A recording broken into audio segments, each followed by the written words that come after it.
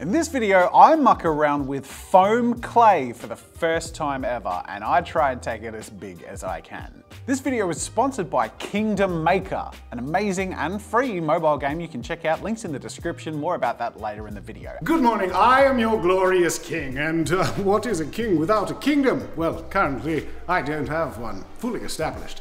Let's go make one. A couple of weeks back, Amy said, have you ever tried foam clay? I said, no, I haven't, and I grabbed it. It feels like foam, but it's malleable, it's clay, and it air dries. Now, apparently, the way to glue it is literally just with a tiny little bit of water, little bit of water, and if I just pop that on there, that will tack up and glue. But apparently the other thing you can do is mix colors. I'm excited. So excited, in fact, that I bought all of the foam clay that they had at the local shop. oh, and we got big tubs.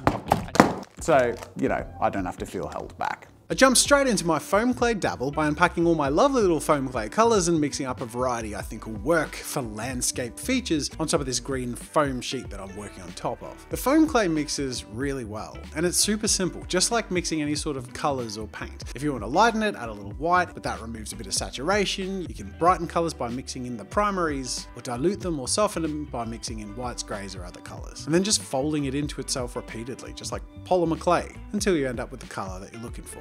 Made a variety of sandy colours that I think could lie down along the roads and tried to create a gradient by making a lighter coloured sandy noodle that I lied down in the middle, wet and massaged until I could get a bit of a gradient. It turns out it works pretty well. The water seems to really soften and even slightly dilute this foam clay to the point where not only does it get sticky, but it can really thin out and you get some pretty smooth transitions. With the path in a place I was happy with, I wanted to add a bit of variety with the green of the landscape. So I mixed a slight difference in variation of color and added a few different mounds and tried to blend it by wetting it and smoothing it into that original green and then added a little bit of texture by dabbing with a rough brush. Now it's time to detail out my terrain, starting off with a foam wall, which would be the basis of the outer wall of the city measured to go around the circumference, but then taken aside and packed around with a brown foam clay. This would represent a bit of a wooden wall which would set the tone of the makings of my early settlement. You gotta have defences at the end of the day, even if you are just a little village to start off with.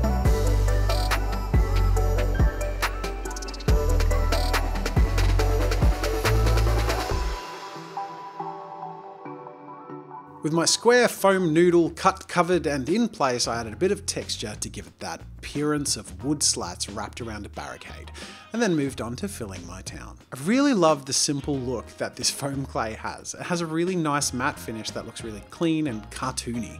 And by making these simple shapes for houses, putting on some roofs, lightly texturing, and adding different colour for the straw, I got a look I was really happy with. Moving on to the trees, going from darker layers at the bottom to lighter at the top and keeping a geometric shape the whole thing was looking really cartoony and fun. It all worked really well for me, and I was starting to really love working with foam clay.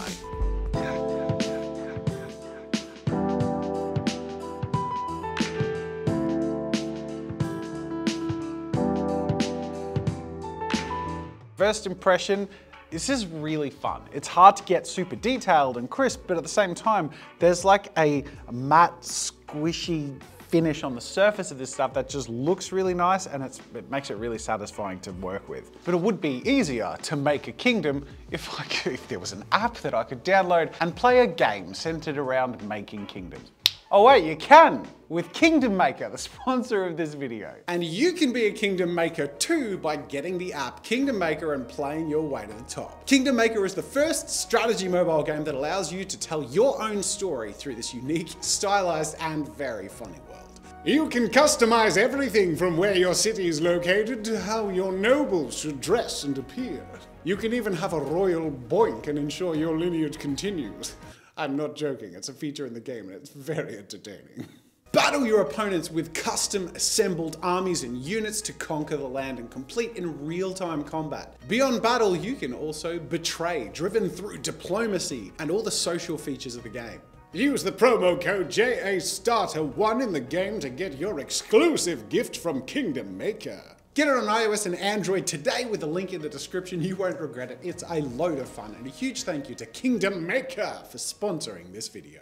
As you can tell, this is the starting sort of village aesthetic in Kingdom Maker. So I've done my starter kingdom for my dabble, I'm gonna do my big kingdom for my dive. Now, I'm gonna be honest, I didn't realize at this point how ambitious I was being. You'll see later in this project that I was biting off more than I could chew by myself, but I don't regret it because this, as you will also see, is a really fun project. But I don't want to jump the gun. Let's focus on where we are right now. A large cardboard tube to use as turrets for my castle that I could lay around and then then picking one of those to work from as a foundation to add blocking, some squarer castle walls around the outside. I used these foam floor mats that most people have seen with those interlocking edges to build the structure of the square areas of the castle. Now the really happy accident is it turns out those jagged interlocking edges, especially at this scale, are kind of perfect for the top battlements of the walls and edges of the castle. And the foam mats I had conveniently had these as removable with a clean cut so that I could actually glue them one to each other with the textured side in the middle to keep that foam look on the outside and have a nice thick battlement edge at the top. I had all of these awesome pieces individually and it was time to start figuring out how to sort of construct the entirety of my castle. I'm building from the center out, creating a keep in the center of the castle which the entire wall structure can surround.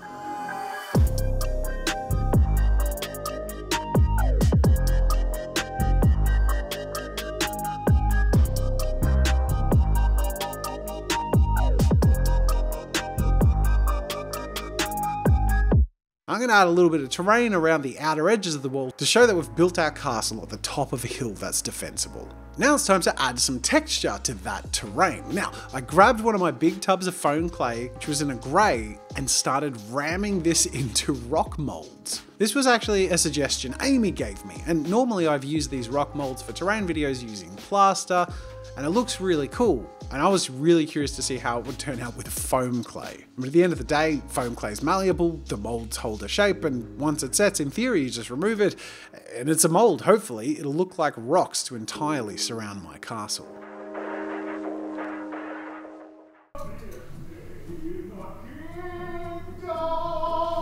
Good morning, subjects. Stone reserves are up 43%. Well done! It's one of those days again. It's always one of those days. It's time to visit our neighboring allies over in Tabletop Town.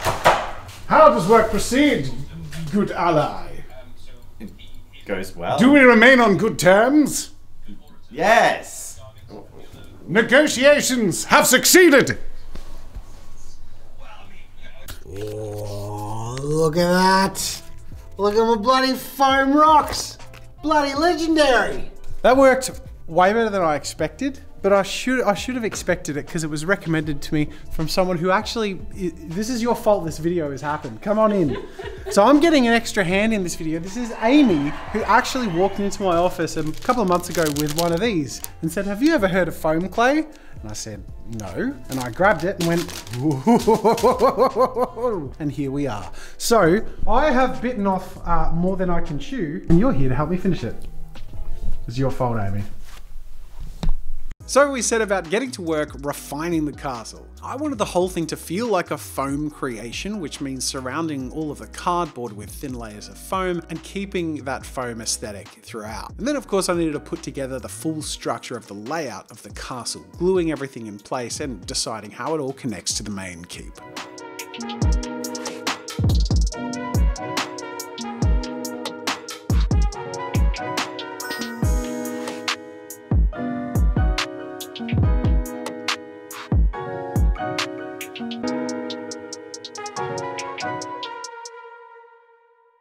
As this creation is inspired by Kingdom Maker and that cartoony aesthetic and really fun feel, I thought it'd be great to keep things simple, but allude to a little bit of that grandeur. I want it to feel like foam and be fun and playful, but also still be epic and a cool castle. Whew, all right, here is the update. We have roofs that we haven't attached yet, but this this will give you a glimpse as to sort of what we're working towards, which I'm loving. Amy has color matched the light grey that we had to be much closer to this grey because the idea is we're going to want to minimize painting as much as possible and use the foam clay to gap fill and adhere to all the foam that we've put down to try and get some organic textures. So time to gap fill and start to bring out some details.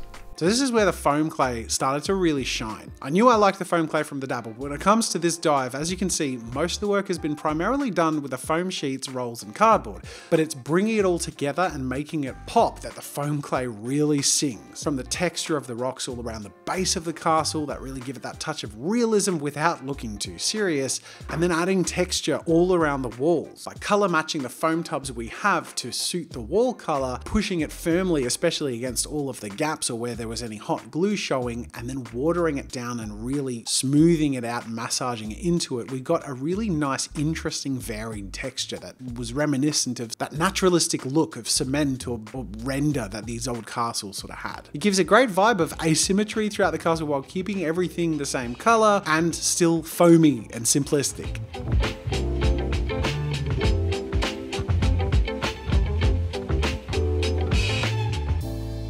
Speaking of color, this is where it's really time to kick things up a notch or two. As soon as we started applying the green to the surface areas of the grassy interiors of the castle courtyard and mixing up some earthy colours to go around the edges, everything really started to come to life. I created a path in the middle, heading towards what would be the central door of the main keep, and then moved on to the browns that would go at the top of the battlements and then be smoothed out and textured to create wooden walking surface areas. Everything really started to pop. My beautiful kingdom was really starting to come to life. And here we are. This is progress so far. The, adding that pop of color and then texturing those walls has made all the difference. So we're gonna sculpt separate to this final details, some windows and some textures, maybe some bricks, I'm not sure. Things that we can just glue on to finish it off. And then uh, maybe just a little spot of color just to bring out a little bit of the punch, maybe whether it be a dry brush or an airbrush, but nothing too crazy because I'm loving that simple flat color aesthetic. It looks so, like I am just yeah, this is fun. I like this one. Now on to the finishing touches of my castle, which as you will see, make all the difference. I cut out little foam windows that I could then cover with my color matched foam clay, give a little bit of texture for brickwork, and using the same method for what would be doorway frames, these were little pieces I could stick on later to add detail throughout the castle. And I was following the color scheme for the logo of Kingdom Maker, those red flags with that bluish roof. And Kingdom Maker, of course, is the aesthetic inspiration as well as the sponsor of this video, which is why I was also keeping that traditional fantasy vibe with the cartoony edge to add flavour. It really works to the strength of foam clay. With all of those pieces dry, it's just about nipping, tucking, and gluing it all in place to create something truly spectacular.